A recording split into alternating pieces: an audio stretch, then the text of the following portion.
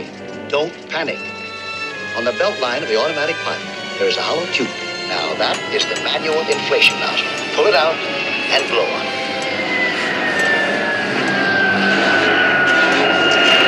What the hell's going on up there?